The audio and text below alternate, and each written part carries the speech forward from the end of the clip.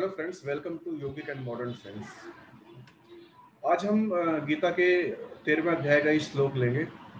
हमने शायद बीसवें श्लोक तक हमने व्याख्या की थी योग साइंस के माध्यम से। और आज हम इक्कीसवां श्लोक लेंगे। इक्कीसवां श्लोक बहुत इम्पोर्टेंट है, क्योंकि इसके ये भी पूरा ज्ञान पे आधारित है। इसमें भक्ति और कर्म की बात नहीं है, बिल्कुल ज्ञान की बात है। जैसे उन्नीसवां और बीसवां अध्याय था, वो भी बिल्कुल ज्ञान पर आधारित था। उसको आप सांख्य योग की दृष्टि से भी समझ सकते थे और योगिक साइंस जिन सिद्धांतों को लेकर हम चल रहे हैं जिन सिद्धांतों का हमें अनुभव है, उसके आधार पर भी हमने बात की थी। और आज हम इक्कीसवें अध्याय को ले, इक्कीसवें सूत्र को, तेरहवें अध्याय का इक्कीसवें सूत्र को लेंगे। और पहले मैं पढ़ता हूँ और फिर थोड़ा सा मैं योग साइंस के माध्यम से इंट्रोड्यूस करने की कोशिश करूँगा और फिर शर्मा जी इसको एक्सप्लेन करेंगे अपने अनुभवों के आधार पर और फिर मैं इंग्लिश में इसको एक्सप्लेन करता हूँ। तो चलते हैं इक्कीसवें सूत्र की तरफ़। इक्कीसवां सूत्र है, पुरुष प्रकृतिस्थो ही भुगंते प्रकृति जान गुणान कारणम गुण संगो यस्य सदसद्यो निजन्मसु। यानी प्रकृति में स्थित पुरुष ही प्रकृति जन्य गुणों का भोक्ता बनता है। और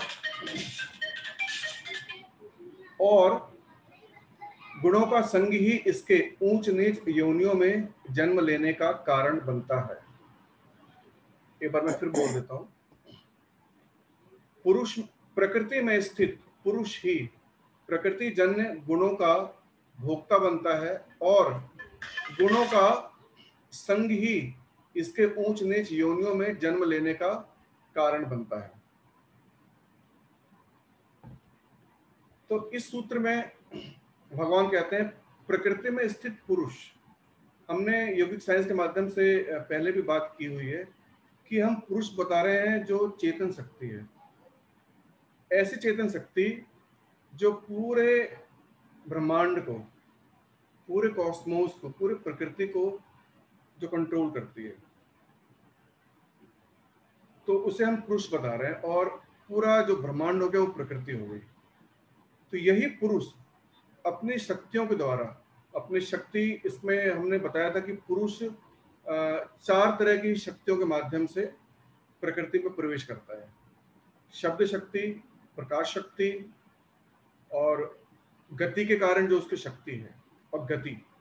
तो ये जो चार चीज़ें हैं, उस माध्यम से प्रकृति इस, इन शक्तियों को रिसीव करती है और प्रकृति में इस तरीके से वो स्थित हो जाता है। और वो स्थित पुरुष ही हर चीज़ को भोगता है, सुख, दुख, जो भी चीज़ें हैं, उसको भोगता है, क्योंकि वो प्रकृति में स्थित है, प्रकृति में केंद्रित है। और प्रकृति गुणमयी है। प्रकृति में, प्रकृति के जो बेसिक जो तीन गुण है, वो है सत, रज और तम। इन तीन गुणों से ही बाकी जितने भी गुण हैं, वो सारे गुण इनमें से ही जन्मे हैं। तो हम बहुत बेसिक गुणों की बात करेंगे, जो बिल्कुल प्राथमिक गुण है प्रकृति के, सत, रज और तम। तो प्रकृति में स्थित पुरुष, इन चार तरह की शक्तियों द्वारा स्थित होता है प्रकृति में, केंद्रित होता है, और फिर जो भी वो अपनी रचना करता है, संरचना करता है, निर्माण करता है तो जब निर्माण करता है, संरचना करता है तो उसकी, उसका जो सुख है, दुख है, गुणों के आधार पर वो उसका भोक्ता बनता है। तो इस सूत्र के माध्यम से भगवान पुरुष और प्रकृति में स्थित जीव और पूरे प्रकृति, इन तीनों को लेकर बात कर रहे हैं और जो बहुत ही ध्यान से समझने वाली है। और मैं अनुरोध करूँगा शर्मा जी से कि योगिक साइंस के माध्यम से इसको और भी गहराई से इसको बताने की कृपा करें ताकि दर्शकों को लाभ हो। जी शर्मा जी।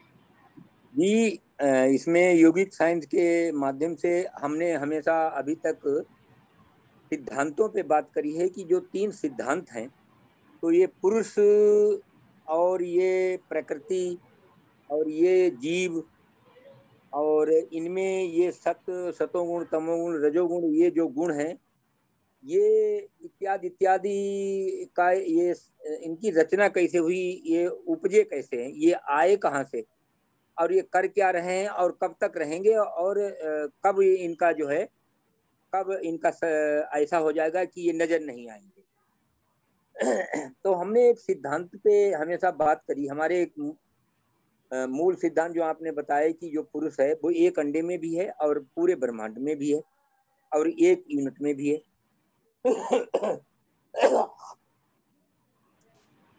तो इसमें जो ये बता रहे हैं कि सिद्धांत हमारा जो योगिक साइंस के माध्यम से था, वो ये रहा कि जो हमने एक बात कही थी बहुत पहले अपने एक उसमें कि एक आत्मा जो एक सिंगल पीस है, उसमें दो प्रकार की एनर्जी है।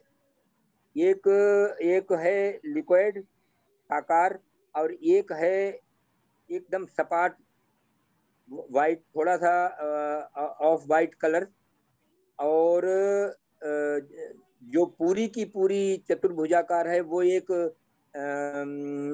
हल्के गुलाबी कलर में स्थित है, लेटी हुई है। और इसमें ये जो साकार जिसकी बात कर रहे हैं, सिद्धांत पे बात कर रहे हैं अभी, ताकि इनका एक बार सिद्धांत तो समझ लें।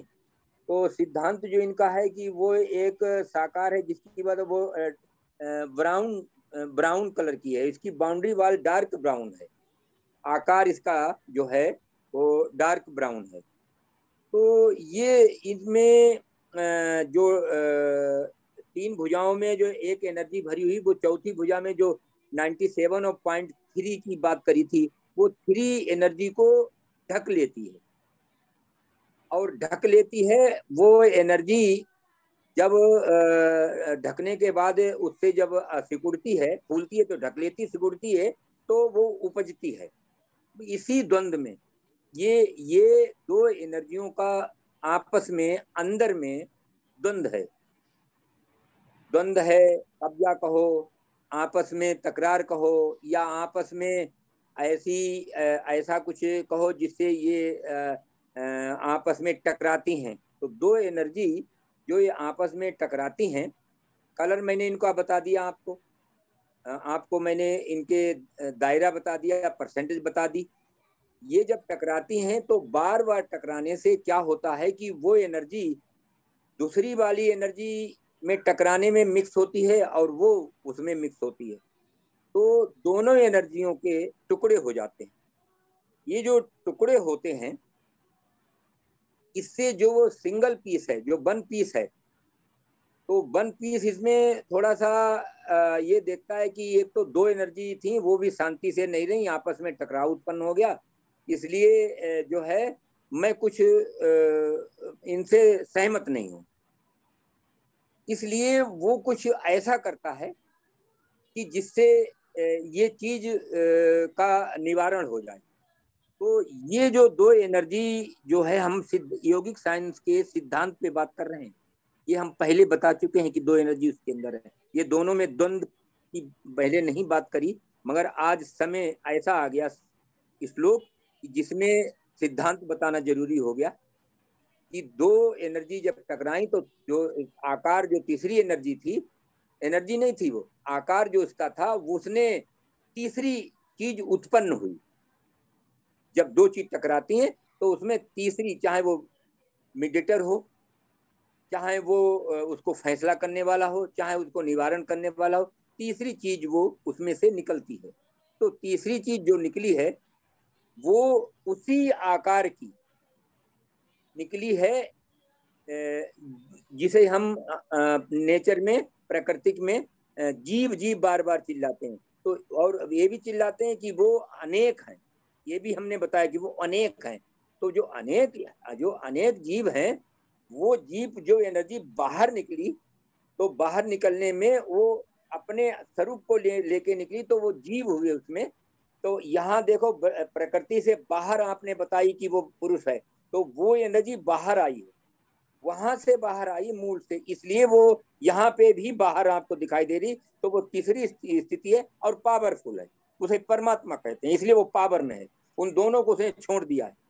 तो जो दोनों को छोड़ दिया, दोनों के द्वंद के कारण उसने इतने टुकड़े कर दिए कि उसके आकार के अनेक जीव हुए तो उसने ये डिसीज़न लिया कि अब मैं इसके एक भाग को, एक भाग मैं अपने पास रखती हूँ, एक भाग मैं तुम दोनों को, ना कि तुम दोनों मेरे ही अपने हो, इसलिए इनको फिफ्टी फिफ्टी दूँगा।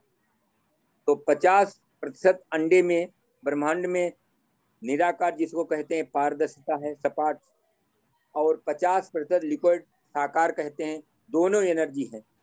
तो दोनों एनर्जी, दोनों अपना अंश होने के कारण, अपनी औलाद होने के कारण, चाहे छोटा बड़ा नहीं आया, क्योंकि वहाँ तीन परसेंट और नाइन्टी सेवन परसेंट की औकात खत्म हो गई फिफ्टी फिफ्टी परसेंट आया, क्योंकि दोनों अंश हैं, दोनों एक के ही भाग हैं, इसलिए फिफ्टी फिफ्टी आया।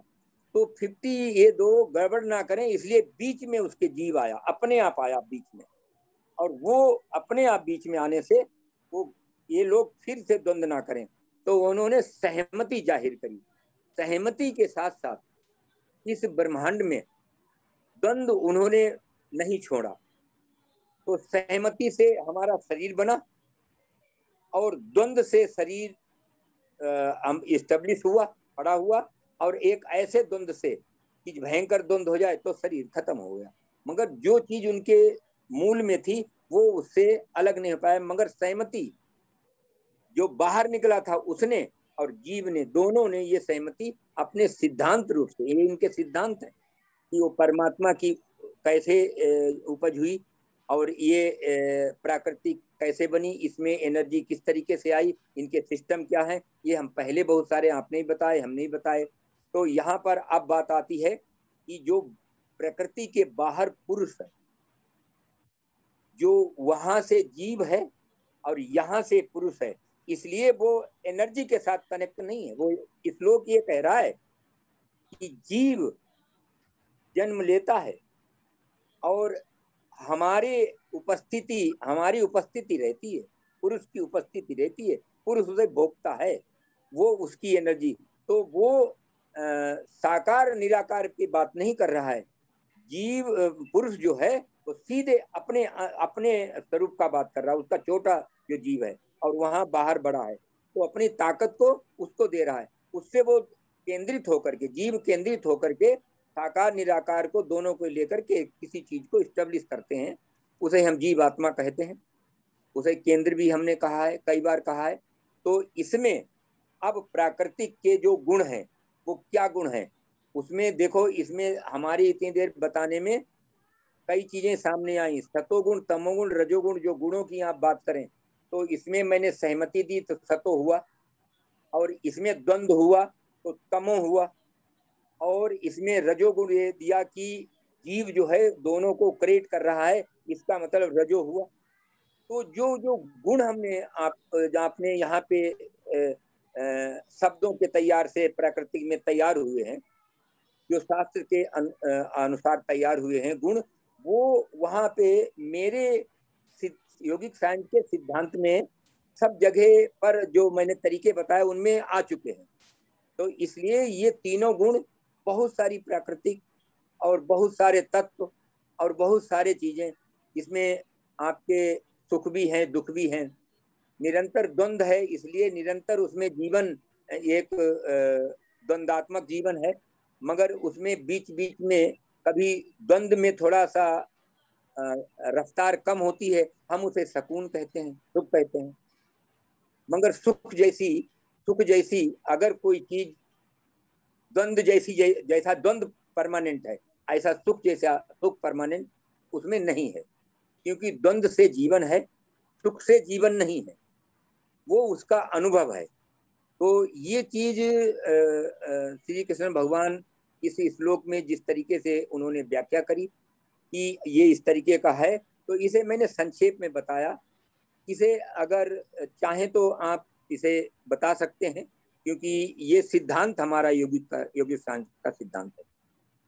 Friends let me explain what Sharma ji has just said he explained this shloka on the basis of yogic science and he also explained the three basic principles of yogic science and how that those principles are working right you can see the working or uh, you know the those principles. You can see those principles, okay, uh, in in that sutra.